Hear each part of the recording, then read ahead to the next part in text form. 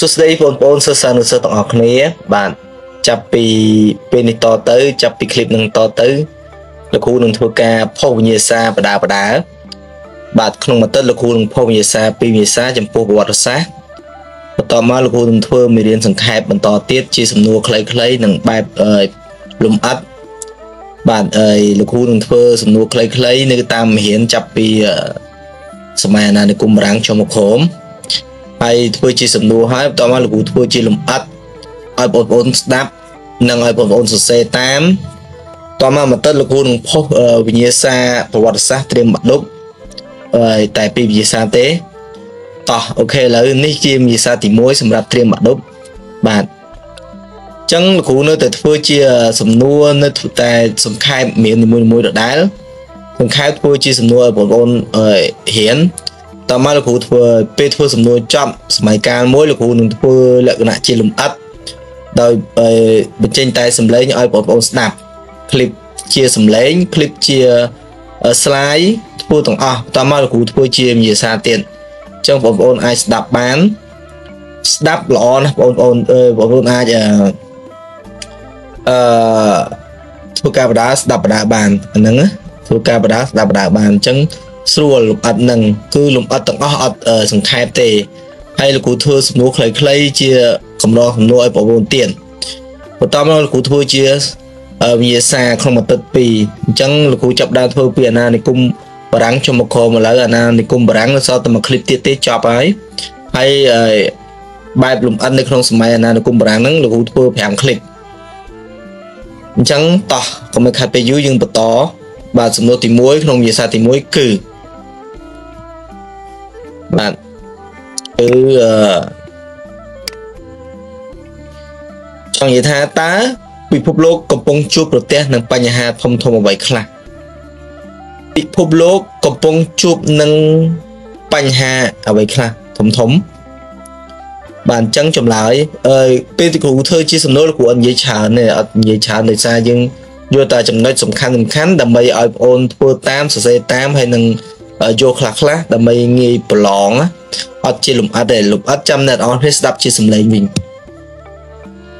ចឹងទី1ពិភពលោកកំពុងជួបប្រទះនឹងបញ្ហាធំធំដូចតទៅបាទបរិស្ថានបាទបរិស្ថានយើងដឹងហើយបរិស្ថានមានរញ្ជួយដីខ្យល់ព្យុះទឹកជំនន់កំណើនកម្ដៅបាទហើយរាំងស្ងួតយើងដឹងហើយរញ្ជួយផែនរញ្ជួយដីក៏មានជាច្រើននៅនៅជប៉ុនខ្យល់ព្យុះ សម្បូរណាស់គឺ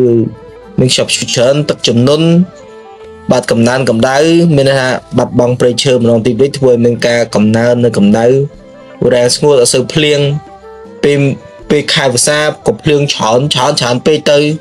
ពេលមិនភ្លៀងគឺមិនភ្លៀងអញ្ចឹងវានេះគេហៅបែបអឺបរិស្ថានតទៀតកំណើនប្រជាជន បាទមនុស្សកាន់តែកើតមនុស្សកាន់តែកើតអញ្ចឹងត្រូវខ្វះកង្ហាខ្វះអាហារ ខ្វះអាហារខ្វះអនាម័យបញ្ហាជំងឺនិងសុខភាពអានឹងកំណើនប្រជាជនកាលណាកំណើនប្រជាជនប្រជាជនកើតច្រើនទៅច្រើនទៅអាការរស់នៅហ្នឹងក៏ពិបាកដែរមានថាវិជាអិតកន្លែងរស់នៅកាលណាជាអិតកន្លែងរស់នៅអាបរិស្ថានហ្នឹងក៏វាមិនសូវល្អសុខភាពកើតជំងឺច្រើនអញ្ចឹងដែរហើយកាលណាមនុស្សកាន់តែច្រើនទៅអាហារក៏មិនសូវមានប៉ុន្មានដែរបាទកន្លែងគ្នារស់អទៀតអន្តោប្រវេសន៍ អន្តោប្រវេសន៍មានថាចំណាក់ស្រុកបាទចំណាក់ស្រុកកាលណាចំណាក់ស្រុកកាន់តែច្រើនដូចជាជនជាតិខ្មែរយើងទៅចំណាក់ស្រុកទៅប្រទេសកូរ៉េទៅប្រទេសថៃទៅដល់ភ្លាមយើងអត់ស្គាល់គេពិបាក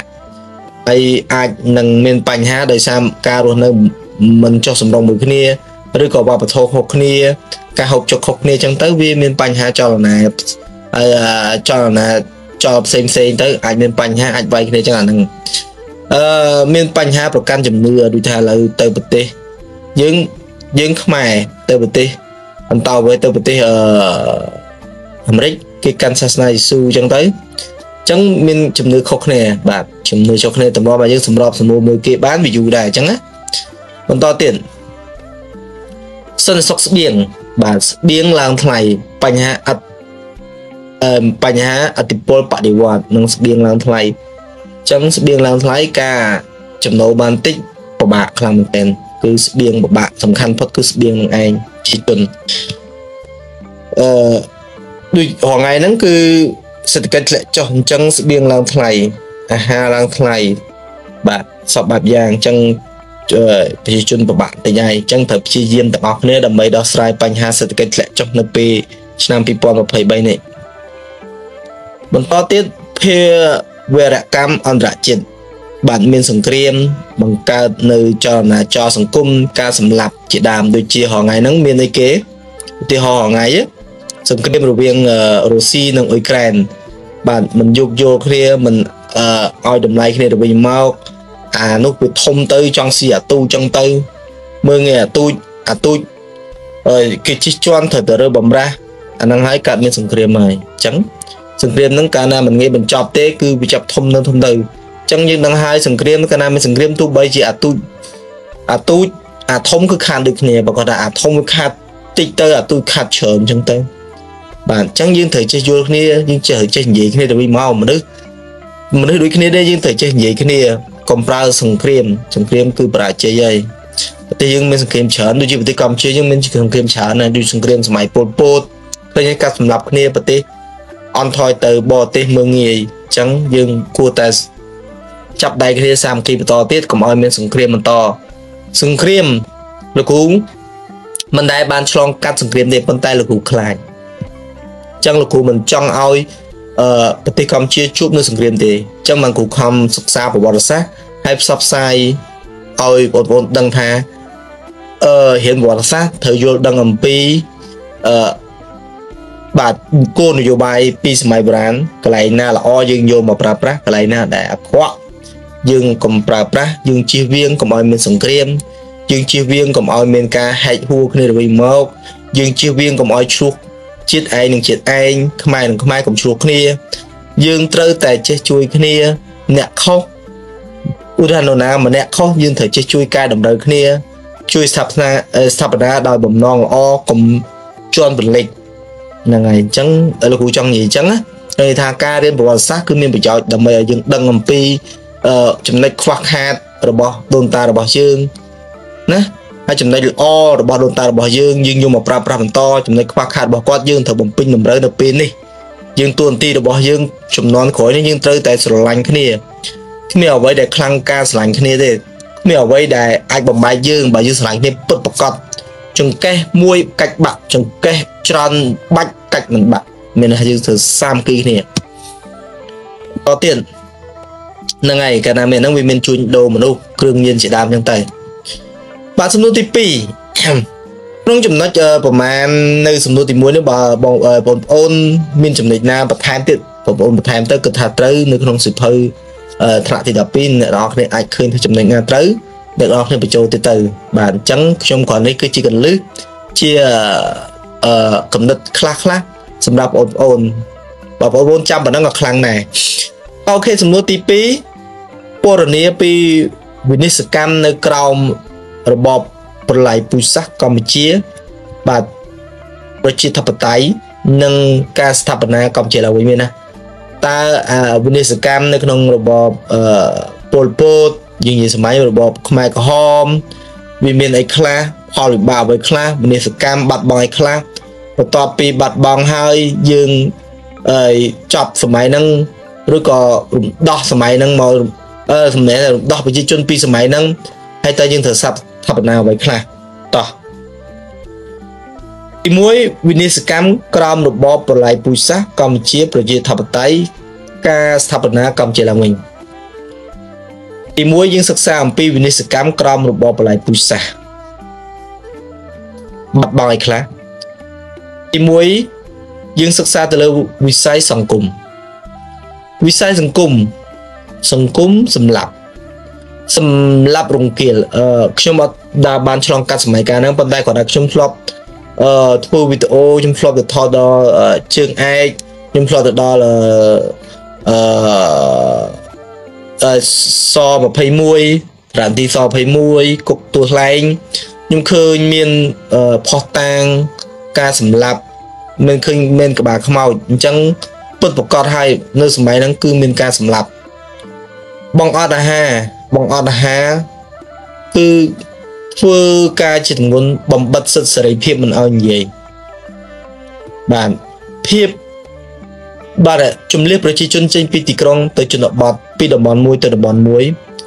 ការជំនះប្រជាជនពីទីក្រុងទៅជនបទហើយជំនះពីមួយទៅមួយហ្នឹងគឺកុំឲ្យមានអឺសាមគ្គីកម្លាំងដើម្បីវាយពួកខ្មែរក្រហមវិញអស់ខ្ញុំអត់និយាយច្រើនទេចាំដល់លំអិតនៃមេរៀន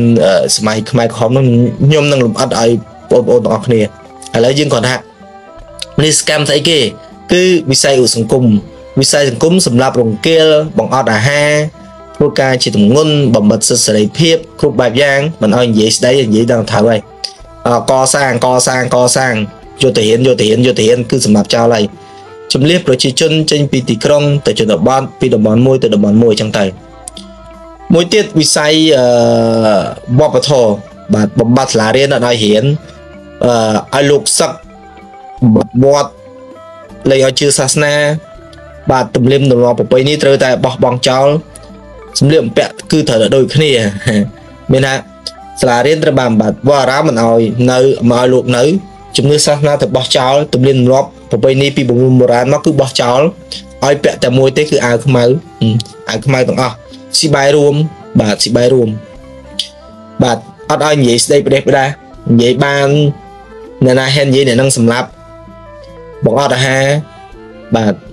បើនិយាយបានលុត្រាតែ ជ័យយោជ័យយោជ័យយោអង្គការអស្ចារ្យមហាលូតផ្លំហាអស្ចារ្យអង្គការភ្នែកមនុស្សអូអាហ្នឹងគឺគេសប្បាយចិត្តហើយនឹងសម័យហ្នឹងមួយទៀតហេដ្ឋារចនាសម្ព័ន្ធសាលារៀនដល់រៀនគឺត្រូវបានដាក់សម្រាប់អីចឹងទៅផ្លូវថ្នល់ក៏អត់មានឡានបើកដោយសារលែងមានឡាន សំណង់សាធារណៈត្រូវបានគ្រីកតំដូចជាប្រាសាទបុរាណមិនត្រូវបានគ្រីកតំសម័យពលពតខ្លាំងណាស់ បាទមួយទៀតវិស័យសេដ្ឋកិច្ចបំបត្តិទីផ្សាររូបិយប័ណ្ណពាណិជ្ជកម្មក្នុងនិងក្រៅប្រទេសអត់ឲ្យពួកបរទេសចូលទេគឺអឺកម្មសិទ្ធិឯកជនយកមកគឺកម្មសិទ្ធិឯកជនអត់មានទៀតចាំមានថាបំបត្តិទីផ្សាររូបិយប័ណ្ណពាណិជ្ជកម្មក្នុងនិងក្រៅប្រទេសកម្មសិទ្ធិឯកជនចឹងនៅសម័យពលពតហ្នឹងគឺទំនាក់ទំនងទីផ្សារអត់មានទេ ពីក្រៅប្រទេសមិនមានទេអឺ បើតាមខ្ញុំគិតទៅសម័យពលពតគឺជាសម័យមួយដែលគាត់ធ្វើតែកសិកម្មឯងហើយគាត់ចង់បានកសិកម្មហ្នឹងឲ្យដូចសម័យមហានគរព្រោះមហានគរចិញ្ចឹមប្រជាជនដោយកសិកម្មរុងរឿងបាទដូចពាក្យស្លោកមួយថាអឺកាលណាមានទឹកមានត្រីមានទឹកមានបាយអឺចឹងគេហៅមួយទៀតគេថាធ្វើសឹកនឹងបាយ បាទចឹងតាមានស្រូវគឺអាចចិញ្ចឹមកងតបបានតោះទៅទៀតនយោបាយតោនយោបាយគឺអនុវត្តនយោបាយផ្ដាច់ការដូចខ្ញុំនិយាយចឹងណាហើយហេននិយាយដូចគុណអង្គការមិនឡាប់ចោលយកកសាងចឹងតែលួចចំណៃហាស៊ីមិនឡាប់ចោលបំផិតបំភ័យពួកអភិជនភ័យហ្មងសម្លាប់ ព្រមទាំងផ្ដាច់ទំនាក់ទំនងការទូតជាមួយនឹងប្រទេសមួយចំនួនលើពិភពលោកបាទគឺអត់អត់គឺអត់មានទំនាក់ទំនងទេអះវិនិស្សកម្មមានប៉ុណ្ណឹងគឺវិស័យសង្គមវិស័យវប្បធម៌ហេដ្ឋារចនាសម្ព័ន្ធវិស័យសេដ្ឋកិច្ចនិងវិស័យនយោបាយអឺមួយទៀតពេលដែលរបបនឹងដួលរំលំយើងចាប់ដើមស្ថាបនាកម្ពុជាឡើងវិញបាទយើងបង្កើតក្រុមសាមគ្គីបង្កបង្កើតផល ឬក្រុមប្រវាស់ដៃដើម្បីជួយស្ត្រីមេម៉ាយចាស់ជរាកុមារកំព្រានិងគ្មានគោក្របីចឹងពេលដែលបានរំដោះប្រទេសចេញពីរបបដ៏ប្រៃផ្សៃនឹងហើយយើងដឹងថាសម័យហ្នឹងគឺគេសម្រាប់តាមនៅប្រុសពិច្រើនចឹងសម្បូរទៅដោយស្ត្រីមេម៉ាយចាស់ជរាហើយកុមារកំព្រាម៉ាក់ឪត្រូវបានគេសម្រាប់ទៅកំព្រាអត់មានអ្នកចិញ្ចឹមហើយពេលបាយហើយឬក៏រំដោះចប់អត់មានគោក្របីទេអញ្ចឹង រដ្ឋាភិបាលត្រូវតែធ្វើបែបហ្នឹងមួយទៀតស្ដាររចនាសម្ព័ន្ធគ្រប់គ្រងបាទមួយទៀតការស្ដារវិស័យសេដ្ឋកិច្ចកសិកម្មពាណិជ្ជកម្មនិងឧស្សាហកម្មបាទអាហ្នឹងសំខាន់ណាស់សំខាន់មែនតើអ្នកនរគ្នាអាចទៅមើលរឿងសម្ដេចបានបាទប្រចាំងគឺគាត់លេងតាំងពីអឺសម័យរំដោះនៅឆ្នាំ70រហូតដល់យើងបានបាយអាពោតហើយ មួយទៀតវប្បធម៌អប់រំបង្កើតសាលារៀនសិក្សា បង្កើតវត្តអារាមឡើងវិញ បង្កើតជំនឿឡើងវិញ វិស័យនយោបាយបង្រួបបង្រួមជាតិហើយទៅដល់ការបញ្ចប់សង្គ្រាមស៊ីវិលថ្ងៃទី23តុលាឆ្នាំ1990បីបោះឆ្នោតយុទ្ធសាស្ត្របង្រួបបង្រួមរដ្ឋាភិបាលជាមួយនឹងខ្មែរក្រហមដែលសេះសល់គឺយុទ្ធសាស្ត្រស្នះស្នះរបស់សម្ដេច សំណួរទី3តើការដាក់ប្រាសាទព្រះវិហារចូលទៅក្នុងបញ្ជីបេតិកភណ្ឌពិភពលោកមានអត្ថន័យដូចម្តេចសម្រាប់កម្ពុជានេះសំណួរក្រៅមិនមែននៅក្នុងអឺសិភៅថ្នាក់ទី12ទេប៉ុន្តែយើងត្រូវតែចេះវប្បធម៌ទូទៅទី1ពិភពលោកជួយការពារនិងទទួលស្គាល់ផ្ដល់កំណើតសេដ្ឋកិច្ចតាមរយៈទេសចរអញ្ចឹងកាលណា យើងដាក់ទៅពិភពលោកជួយផ្សព្វផ្សាយយើងអញ្ចឹងអន្តរជាតិទាំងអស់មនុស្សនៅពិភពលោកមកលេងនៅប្រាសាទព្រះវិហារយើងដោយសារយើងបានដាក់ទៅគេដឹងថាប្រទេសយើងសន្តិសុខគេមកលេងដោយសុវត្ថិភាពហើយសុបាយហើយប្រាសាទយើងស្អាតទៀតមកគឺមានទេសចរច្រើនហើយមួយទៀតបង្ហាញពីស្ថាបត្យកម្មនៃបុព្វបុរសខ្មែរនិងសិល្បៈយើងនឹងថាខ្មែរយើងសម័យអង្គរពុប្រាសាទអឺអឺ ព្រះវិហារហ្នឹងគឺត្រូវបានកសាងច្រើនជាច្រើនស្ដេចប៉ុន្តែស្ដេចដំបូងដែលធ្វើដំបូងគេកសាងដំបូងគេគឺព្រះបាទសូរ្យវរ្ម័នទី1បាទព្រះបាទសូរ្យវរ្ម័នទី1ព្រះអង្គគ្រប់គ្រងទេឬឡើងសារីនៅក្នុងប្រទេសកម្ពុជាដំណើរដំណើរព្រះបាទវីរៈវរ្ម័នក្នុងពីឆ្នាំ1006រហូតដល់1050បាទអឺតមកបង្ហាញពីអំណាចវិសាលភាពរបស់ ព្រះរាជាមុនមិនហ្នឹងហើយគឺអំណាចរបស់ព្រះអង្គខ្លាំងណាព្រះបាទសូរ្យវរ្ម័នទី1ព្រះអង្គគឺខ្លាំងមែនតើដែលយើងធំទូលាយណាស់សម័យហ្នឹងហើយព្រះអង្គគឺជាអ្នកកាន់សាសនាពុទ្ធទៀតពិតជាព្រះអង្គកាន់សាសនាពុទ្ធប៉ុន្តែព្រះអង្គនៅតែធ្វើព្រះវិហារឧទ្ទិសដល់ពុំមាញ់សាសនាដែរមានថាព្រះអង្គជាសយោគសាសនាទាំងពីរនឹងចូលគ្នារស់នៅប្រជាជនរស់នៅសុខសាន្តហើយប្រទេសមានការរីកចម្រើនរុងរឿងអឺ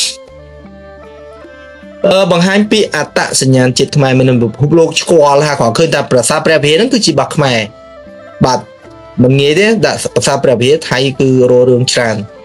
ប៉ុន្តែជារបស់យើងរបស់ពិតនៅតែជារបស់យើងដដែលទោះហែរឿងយ៉ាងប៉ុណ្ណាក៏ដោយក៏យើងជារបស់យើងក៏នៅតែជារបស់យើងការពិតវានៅតែជាការពិតមិនអាចបន្លំបានទេជនជាតិថៃជួយចិត្តបន្លំ អូខេបង្ហាញអំពីទេពកោសលព្រះរាជានិងអតិទេពអូខេព្រះរាជានិងអតិទេពសម័យមុនគេជឿទៅលើអតិទេពក្នុងលទ្ធិពុមាញ់សាសនាបាទបន្តទៀតជាអត្តន័យប្រវត្តិសាស្ត្រធ្វើឲ្យជាតិខ្មែរល្បីលន់តឺពេញពិភពលោកប្រកបដោយមោទនភាពទីជាទីបំផុតពីចឹងហ្នឹងវប្បធម៌ខ្មែរយើងវារុងរឿងបែបហ្នឹង បណ្ដុំបណ្ដាកូនខ្មែរចំនួនក្រោយត្រូវចេះស្រឡាញ់គ្នារក្សានិងការពារឡៃនេះខ្ញុំខ្ញុំពេញចិត្តមែនទែនអញ្ចឹងបងប្អូនទាំងអស់គ្នាបងប្អូនទាំងអស់គ្នាត្រូវតែស្រឡាញ់គ្នាកុំឈ្លោះគ្នាហើយរៀននិយាយពាក្យល្អល្អដាក់គ្នាទៅយើងនឹងធ្វើឲ្យប្រទេសយើងមានការរីកចម្រើនបើអ្នកនរគ្នារីកចម្រើនប្រទេសមានរីកចម្រើនដោយអូតូប៉ុន្តែបើអ្នកនរគ្នាខ្លាចទៅជាទំពាំងមួយដ៏ស្អុយប្រទេសនឹងធ្លាក់ទៅបែបដុនដាបំផុត ប៉ុន្តែបើអ្នកនរគ្នាខ្លាយទៅជាទំពាំងមួយដែលមានប្រសិទ្ធភាពមានចំណេះដឹង មានគំនិតល្អល្អចេះស្រឡាញ់គ្នាគឺប្រទេសរីកចម្រើនដោយអង់គ្លេសហៅអូតូដោយអូតូម៉ាទិកដោយស្វ័យវត្តប្រទេសមួយរីកចម្រើនបានប្រជាជននោះត្រូវតែមានចំណេះចេះស្រឡាញ់គ្នាកាលណាគ្មានចំណេះគឺប្រទេសមិនអាចរីកចម្រើនបានទេមានចំណេះមានប្រទេសមានចំណេះដោយប្រសិទ្ធភាពហើយចេះស្រឡាញ់គ្នាចេះចែកចាយនៅចំណេះដឹងតៗគ្នា បង្ហាញពីសម្បត្តិវប្បធម៌ដ៏ខ្ពង់ខ្ពស់របស់បុព្វបុរសទៅកាន់ពិភពលោកទៅកាន់ពិភពលោកនិងខាងក្នុងអូខេអឺចប់ហើយចំពោះវិញ្ញាសាទី1បើមានចំណុចណាខ្វះខាតអ្នកទាំងអស់គ្នាបងប្អូនអាចបន្ថែមដោយខ្លួនឯងបានហើយបើខ្ញុំនិយាយទៅមិនអឺមិនពេញទឹកហើយខ្វះខាតកន្លែងណាសូមបងប្អូននិងបងប្អូនជួយអឺ ខន្តីអភ័យទោសរកកំហុសឆ្គងទាំង live ស្ដាប់មិនបានអាច comment សួរខាងក្រោមនៃវីដេអូហ្នឹងបាទចុងក្រោយសូមជួយ subscribe នៅ channel សួងចន្ទ TV ហើយ share ព្រោះការ subscribe ការ share ការឲ្យមេដៃគឺជាកម្លាំងចិត្តដ៏ខ្ញុំខិតខំប្រឹងបន្តទៀតអរគុណច្រើនជួបគ្នានៅញាសាទី2